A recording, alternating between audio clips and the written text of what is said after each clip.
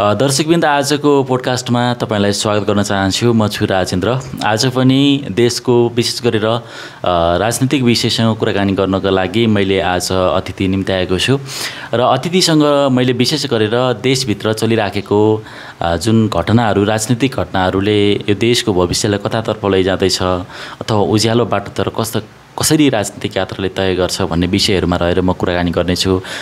त्यो विषयमा कुराकानी गर्नको लागि आज मसँग अतिथि हुनुहुन्छ मङ्गोल नेसनल अर्गनाइजेसन केन्द्रीय सभाका जुन निर्वाचन आयोगका चाहिँ सचिवजी हुनुहुन्छ विकेन बान्तवा राईज्यू उहाँसँग विशेष गरेर यिनै विषयहरूमाथि रहेर म स्व कुराकानी गर्नेछु। आजको कार्यक्रममा स्वागत छ विकेनजी यहाँलाई। धन्यवाद छ। जय मङ्गोल। राजेन्द्र आराम हुनुहुन्छ? बिल्कुल आराम आज भोलि राजनीतिक यात्राहरू विशेष गरेर तपाईँ राजनीतिमा निरन्तर रूपमा लागिराख्नु भएको छ। कसरी अगाडि बढ्दैछ राजनीतिक यात्रा? मङ्गोल नेसनल अर्गनाइजेसनको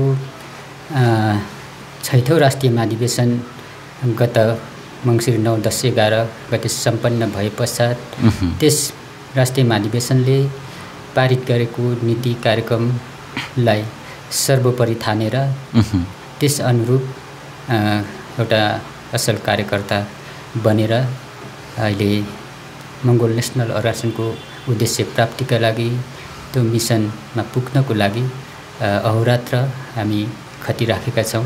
त्यसअनुसार नै अगाडि बढिराखेका छौँ राजेन्द्रजी। तपाईँ महत्त्वपूर्ण जुन सभामा रहेर काम गरिराख्नु भएको छ देशको आम मूलवासी मङ्गलहरूलाई जगाउने काममा तपाईँ निरन्तर रूपमा लागिराख्नु भएको छ। यो अभियानसँग जोडिने क्रममा चाहिँ तपाईँको यात्रा कसरी सुरु भयो सङ्गठनमा आबद्ध हुने क्रमलाई त्यो विषयमा बताइदिनुहोस् न। खास गरेर मङ्गोल नेसनल अर्गना अर्गनाइजेसन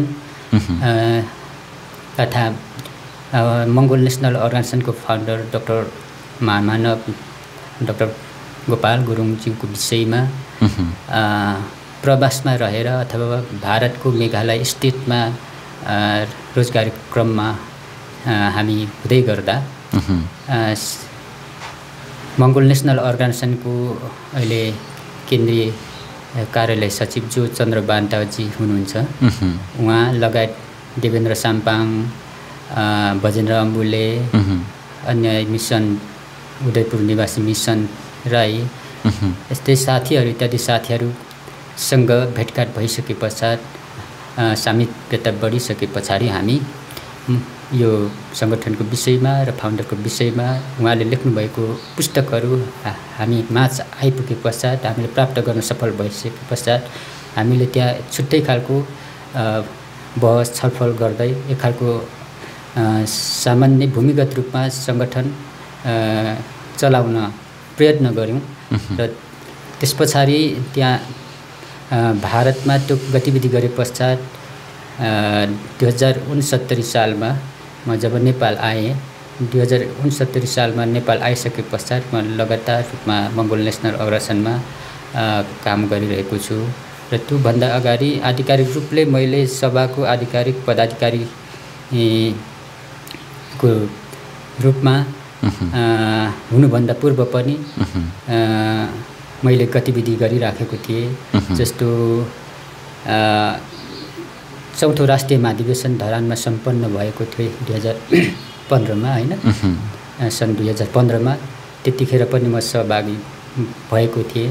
त्यस पछाडि हामीले भोजपुरमा पनि पहिलो अधिवेशन गर्न सफल भयौँ। त्यहाँ पनि म सब सामेल भएर त्यो अधिवेशन पनि सम्पन्न गरेका थियौँ। र यसरी गर्दै गर्दै मैले चाहिँ अहिले आएर चाहिँ मोरङमा एउटा साङ्गठनिक कर्मक्षेत्र बनाएर चाहिँ मोरङमा जिल्लालाई चाहिँ नेतृत्व गर्दै गर्दै अहिले आएर चाहिँ अब छैठौँ राष्ट्रिय महाधिवेशनको एउटा बन्द सत्रबाट चाहिँ सदस्य पदको रूपमा निर्वाचित भएर काम गरिरहेको कुरा राजेन्द्रजीलाई म जानकारी गराउन चाहन्छु।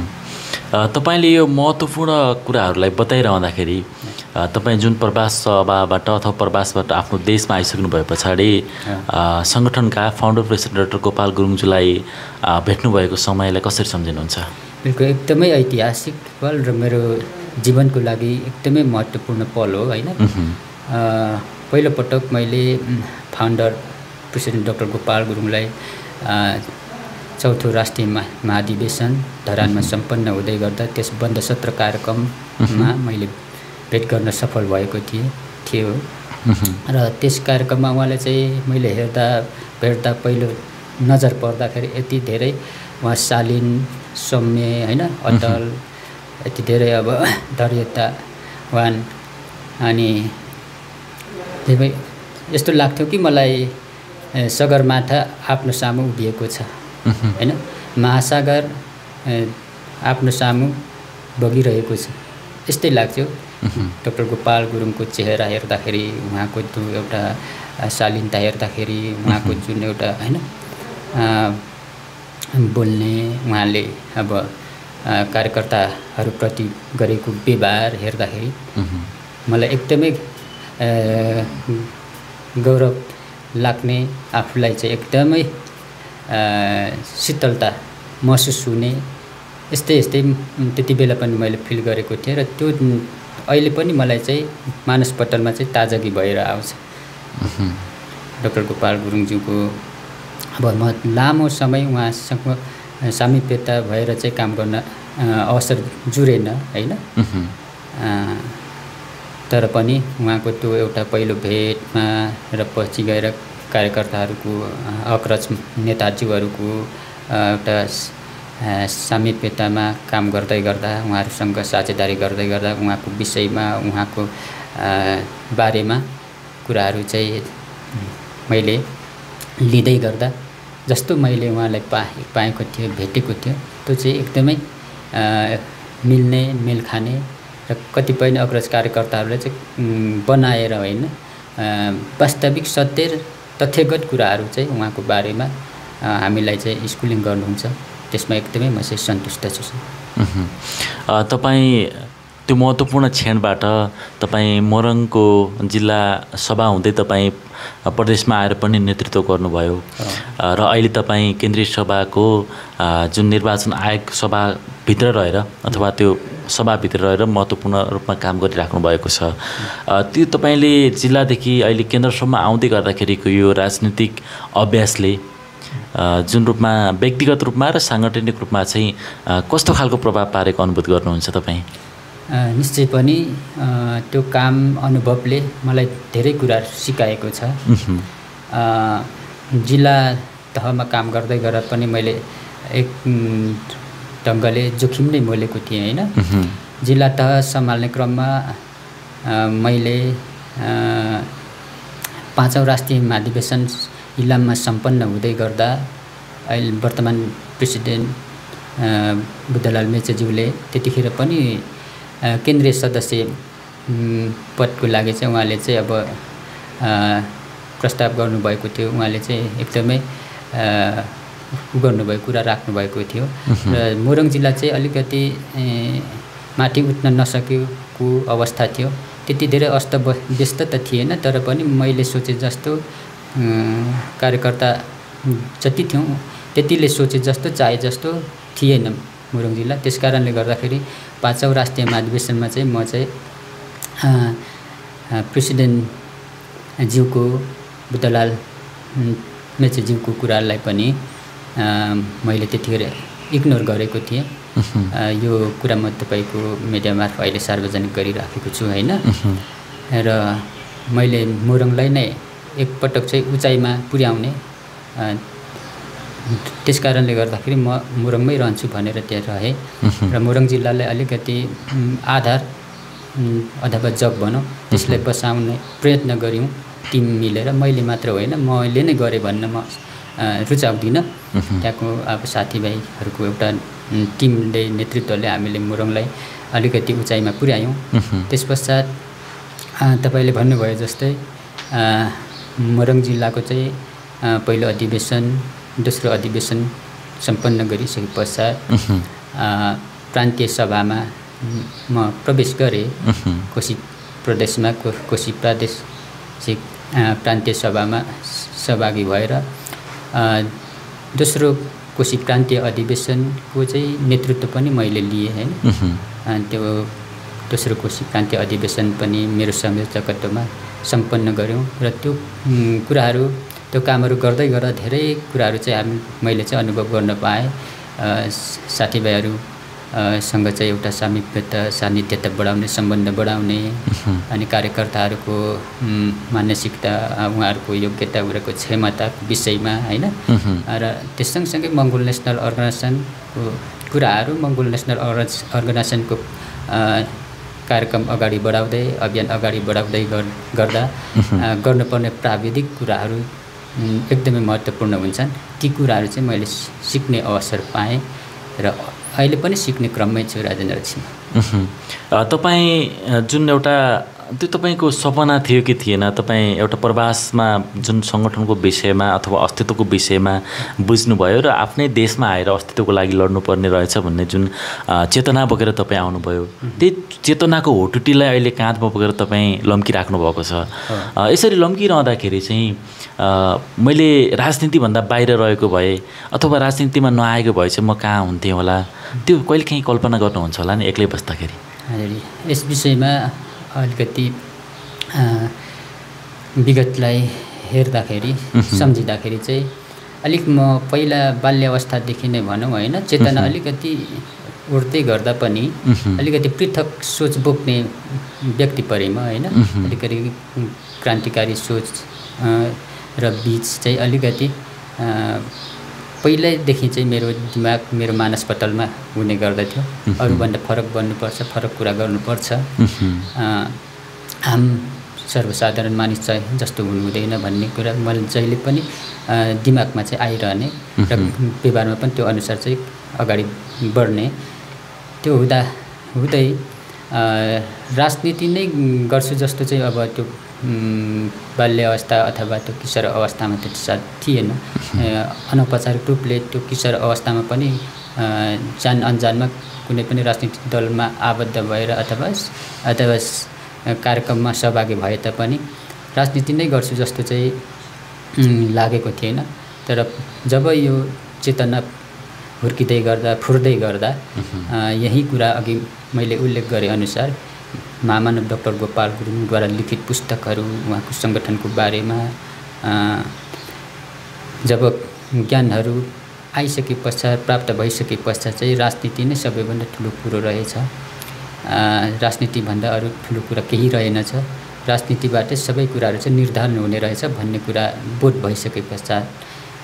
म चाहिँ राजनीतिमा अब बाँकी जीवन चाहिँ समर्पित हुनुपर्छ र समाजको लागि र मुलुकको लागि बाँच्दाखेरि नै मर्नुभन्दा पूर्व केही गरेर मर्नुपर्छ भन्ने एक खालको कन्सेप्ट धारणा आइसके पश्चात म मङ्गोल नेसनल अर्गासनमा स्थायी रूपमा अब सधैँका लागि लाग्छु भनेर यसमा चाहिँ आबद्ध भएँ होइन?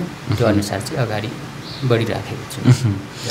अघि तपाईँले भन्नुभयो जसरी जुन सङ्घर्षको यात्रामा रहेको मोरङ जिल्लाबाट अहिले जुन मोरङको माहौल बनेको छ र देशको जुन माहौल बनेको छ त्यो माहौलभित्र तपाईँले निहालिराख्नु भएको छ त्यो हिजोको दिनलाई र आजको जुन आम मङ्गोल पुस्ताहरूको चेतनाको स्तर बढ्दै आएको क्षणलाई सम्झिरहँदाखेरि चाहिँ पक्कै पनि खुसीका क्षण त हुन्छन्।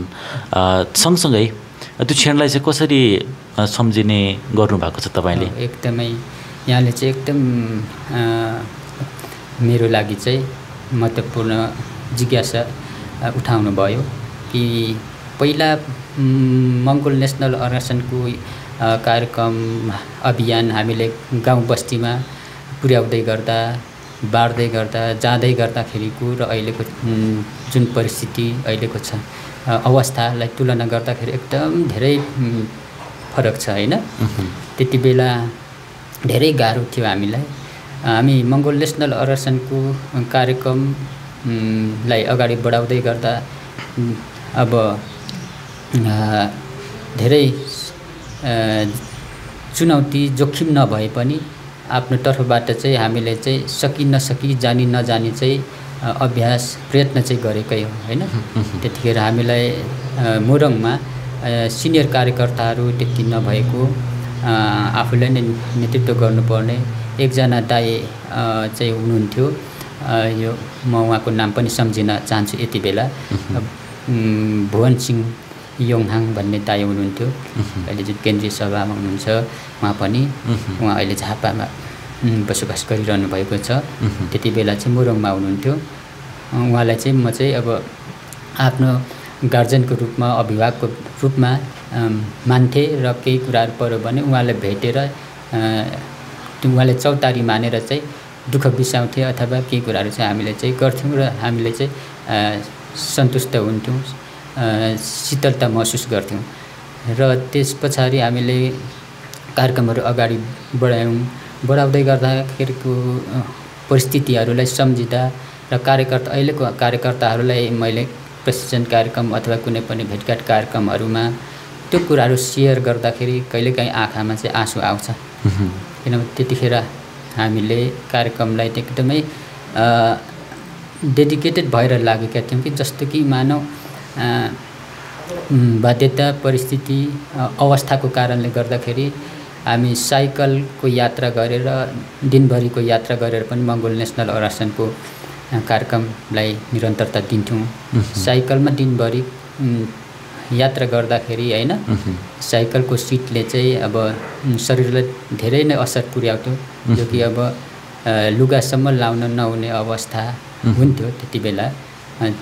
पर्चा पम्प्लेट गर्ने क्रममा होस् अथवा यो कुराहरू चाहिँ गाउँ बस्तीमा पुर्याउँदै गर्दाखेरि साइकलमा प्रारम्भिक चरणमा धेरै यात्रा गऱ्यौँ। त्यसरी गर्दै गर्दै साइकल यात्रामा चाहिँ साथ दिनुहुने चाहिँ अहिले मोरङ जिल्ला सदस्य हुनुहुन्छ कुमार मगर उहाँसँग चाहिँ हामी चाहिँ त्यसरी चाहिँ गर्थ्यौँ र त्यस पछाडि बिस्तारै बिस्तारै अहिले मङ्गोल नेसनल अरासनको केन्द्रीय सर्वोच्च सभा सदस्य तथा अनुशासन आयोगको संयोजक सुरज जी पनि जोडिनुभयो त्यस सँगसँगै वर्तमान मोरङ जिल्ला अध्यक्ष उहाँ भुवनसिंह योङहाङको छोरा धनराज लिम्बू धनराज लिम्बू भाइहरू चाहिँ आउनुभयो। उहाँहरूले चाहिँ पार्टिसिपेट गर्नुभयो हाम्रो कुराहरूले स्वीकार्नुभयो र उहाँहरूले चाहिँ यो कुराहरूप्रति चाहिँ चासो देखाउनु भयो र हामी सँगसँगै उहाँहरूसँगै अगाडि बढ्यौँ र मोरङ जिल्लालाई चाहिँ अगाडि उठायौँ सकेसम्म र हाम्रो त्यहाँ मोरङ जिल्ला उठ्नुमा चाहिँ उठाउनुमा चाहिँ कस्तो त्यहाँनिर चाहिँ अलिकति प्रक्रिया भनौँ या होइन आफ्नै साङ्गठनिक रूपले त्यहाँको अलग विधान विधि प्रक्रियाभन्दा पृथक क्या? जस्तो कि हामी केन्द्रीय सदस्य भएर पनि होइन त प्रान्तीय सभाको पदाधिकारी होस् या केन्द्रको त्यो जिल्ला चाहिँ जिल्ला मातहतबाट चाहिँ जिल्लाको रोबरमा चाहिँ चल्नुपर्छ अगाडि बढ्नुपर्छ। जिल्लाले कार्यक्रम तय गर्नु जिल्लाले खालको चाहिँ कार्ययोजना बनाउनु कार्यविधि बनाउनु त्यसलाई चाहिँ योजना बनाएर चाहिँ अब कार्यान्वयन गर्नुपर्छ भनेर हामी चाहिँ जिल्लालाई चाहिँ गर्छौँ। अनि जिल्लाले बनाउनुहुन्छ र जिल्लाले बनाएको अनुसार चाहिँ हामी जुनसुकै तहको कार्यकर्ता चाहिँ त्यहाँनिर चाहिँ अगाडि बढ्छौँ। उहाँहरूले काम हराउनुहुन्छ खटाउनुहुन्छ होइन? हामी केन्द्रीय सभाको नेता हो कार्यकर्ता हो प्रान्तीय सभाको तिमीहरू जिल्लाबाट गर्नुपर्छ। जिल्लाको काम जिल्लाले गर न। भन्ने कुरा चाहिँ हाम्रोमा त्यहाँ मोरङ जिल्लामा हुँदैन छैन। त्यसरी हामी चाहिँ सबै कार्यकर्ता त्यहाँ भएका मोरङ जिल्लामा भएका कार्यकर्ता चाहिँ पार्टिसिपेट गरेर साझेदारी गरेर चाहिँ अगाडि बढिराखेका छौँ। यो अभ्यासले चाहिँ के सिकाउँछ के कुरालाई चाहिँ अलिकति सङ्केत गर्छ भने देशैभरि चाहिँ यसो गऱ्यो भने चाहिँ राम्रो होला कि भन्ने कुरा चाहिँ मैले आशय व्यक्त गर्न खोजेँ जोड दिन खोजेको कुरा हो होइन? त्यसरी चाहिँ हामी अगाडि बढिराखेका छौँ। हुन चाहिँ अब केन्द्रीय सदस्य भएको नाताले अब कार्यक्षेत्र देशैभरि भयो। तर मैले भन्न खोजेको कुरा चाहिँ आफू बसोबास गरेको जिल्ला पनि जिल्लाको कुरामा हकमा नैतिक जिम्मेवारी चाहिँ हुन्छ भन्ने चाहिँ मेरो चाहिँ बुझाइ हो कि। आज हामीले अति नै मिठो र अत्यन्तै महत्त्वपूर्ण कुराकानी गरिराखेका छौँ र अतिथिको रूपमा मैले निम्ति आएका व्यक्तित्व आज मेरो बिचमा हुनुहुन्छ। मङ्गोलेस अर्गनाइजेसन केन्द्रीय निर्वाचन आयोग सभाको चाहिँ सचिव हुनुहुन्छ। विकेन बान्तवा राईज्यू उहाँसँग मैले महत्त्वपूर्ण कुराकानी गरिराखेको छु। विकेनज्यू तपाईँले जुन सङ्घर्षको कुराहरू सँगसँगै राजनीतिक यात्राको विषयमा बताइराख्नु भएको छ यस सँगसँगै तपाईँले जुन राजनीतिक यात्रा सुरुवात भइसके पछाडि वर्तमान सर्वोदय प्रेसिडेन्ट बुद्धलाल मेचीज्यूसँग भएको भेट त्यो समयलाई चाहिँ कसरी सम्झिनुहुन्छ? त्यो पनि अहिले चाहिँ वर्तमान प्रेसिडेन्ट बुद्धलाल मेचेज्यूसँग ठ्याक्कै यति बेला भेट भयो भन्ने चाहिँ मलाई अब यादगार भएन होइन? तर बोली बोली मिसिएका जुन त्यो क्षणहरू चाहिँ कसरी सम्झिनुहुन्छ तर पनि अब जब चौथो राष्ट्रिय महाधिवेशन सम्पन्न भए पश्चात होइन? त्यहाँ मैले चाहिँ अब त्यहाँको कार्यक्रमबाट आफै मोटिभेट भएँ होइन? त्यहाँ धेरै कुराहरू सिक्यो चौथो राष्ट्रिय महाधिवेशनबाट। अनि त्यस पश्चात चाहिँ अब मोरङमा पनि गर्नुपर्छ। मोरङको कार्यकर्ता सोधी खोजी गर्दा त छैन। त्यही अहिले मैले भने जस्तै भुवन सिंह दाई मात्रै होइन? त्यस पछाडि चाहिँ मैले चाहिँ त्यस पछाडि कुमार भन्ने साथीलाई अघि मैले भने कुमारलाई भेटेँ र त्यसमा कुमार सँगसँगै अगाडि बढाउनुपर्छ सङ्गठनलाई भनेर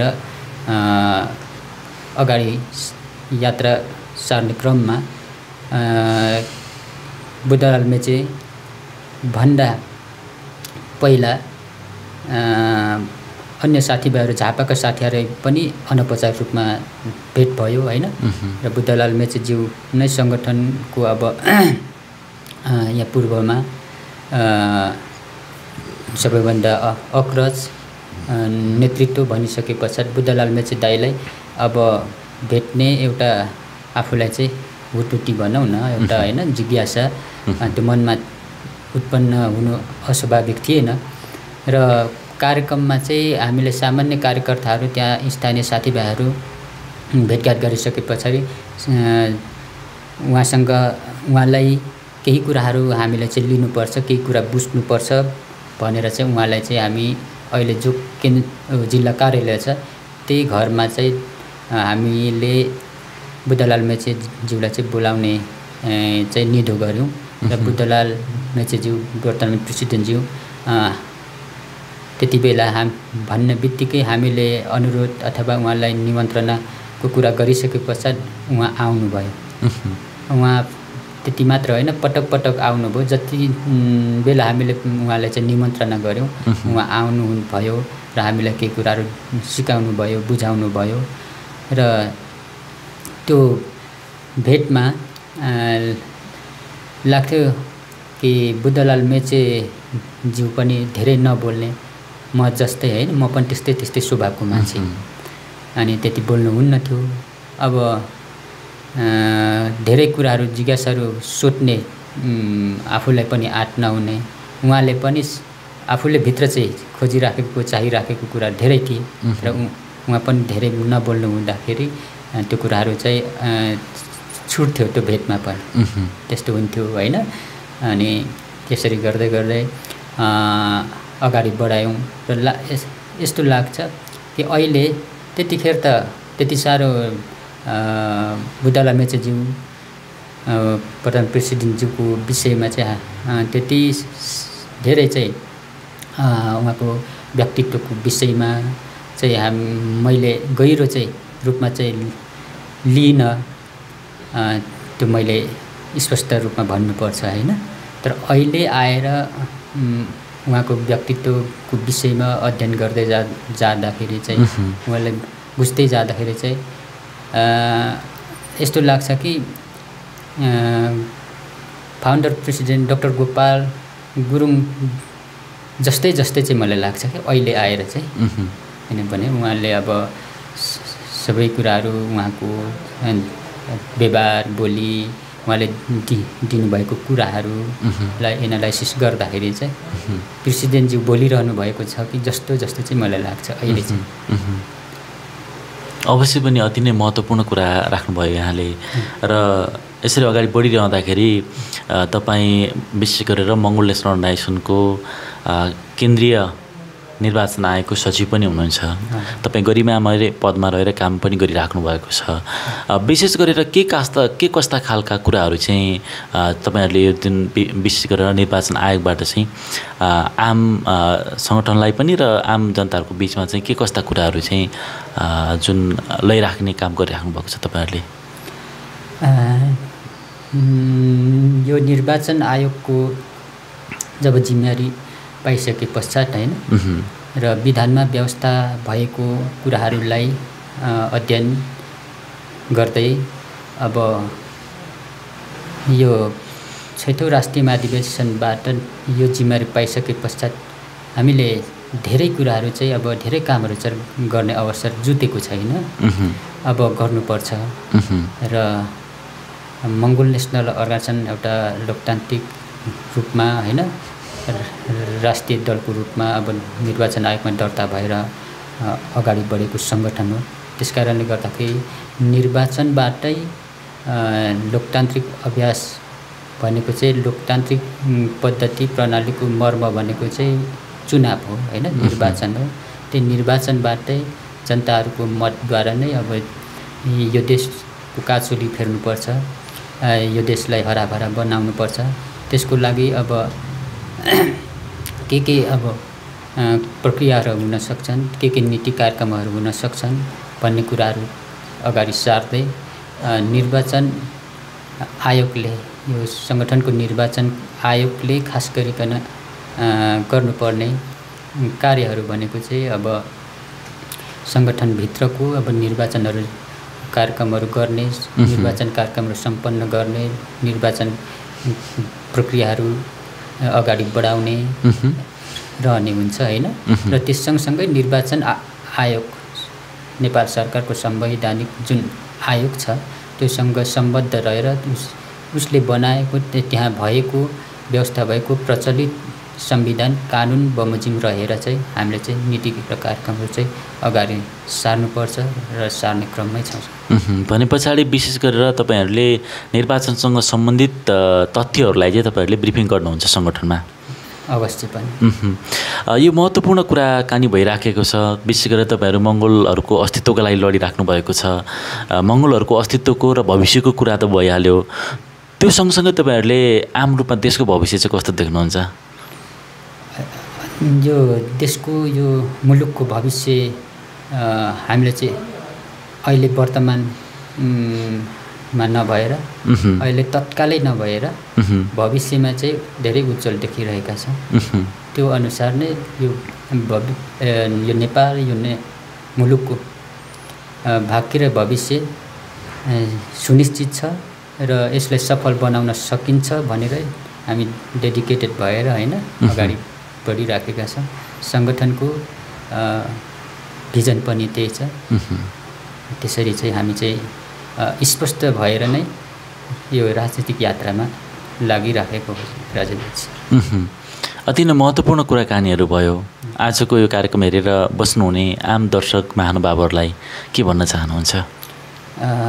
अन्त्यमा यो मुलुक यो समाज परिवर्तन गर्नमा आम जनताको ठुलो हात रहन्छ।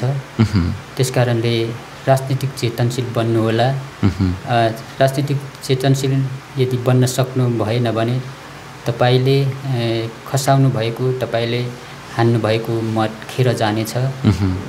तपाईँहरू राजनीतिक चेतनशील भइसके पश्चात तपाईँको मत दुरुपयोग हुने छैन। त्यसकारण सम्पूर्ण आम नेपाली जनता राजनीतिक चेतनशील बन्नको लागि म अपिल गर्दछ गर्न चाहन्छु।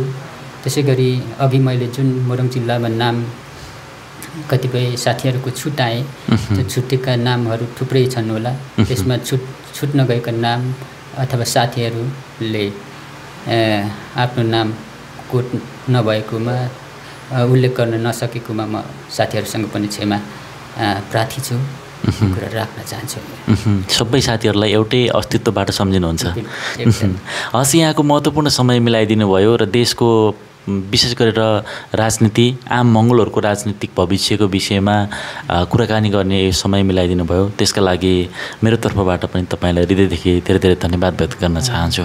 मेरो व्यक्तिगत कुरा र सङ्गठनको कुराहरू राख्ने यहाँले पनि अवसर जुटाइदिनु भयो यसको लागि यहाँलाई पनि धेरै धेरै धन्यवाद। हस् दर्शकबिन्द आजको कार्यक्रम तपाईँलाई कस्तो लाग्यो? आज मेरो बिचमा हुनुहुन्थ्यो। आजको पोडकास्टमा कुराकानी गर्नको लागि मङ्गोल नेसनल अर्गनाइजेसन केन्द्रीय निर्वाचन आयोगका सचिव विकेन बान्तवा राईजी हुनुहुन्थ्यो। उहाँसँग महत्त्वपूर्ण कुराकानी भयो। र यो कार्यक्रम तपाईँलाई कस्तो लाग्यो? तपाईँले आफ्नो जुन प्रतिक्रियाहरू तपाईँले जुन पोडकास्टको मा हेर्नुहुन्छ त्यो पोडकास्टको तल तपाईँले कमेन्ट गर्नुहोला र तपाईँलाई राम्रो लागेमा अन्य धेरै मित्रहरू साथीहरूलाई सेयर गरेर अस्तित्व रूपी भविष्य निर्माण गर्ने यात्रामा जोडिदिनु हुनको लागि म अनुरोध गर्दै आजको पोडकास्टबाट बिताउने अनुमति चाहन्छु। धन्यवाद।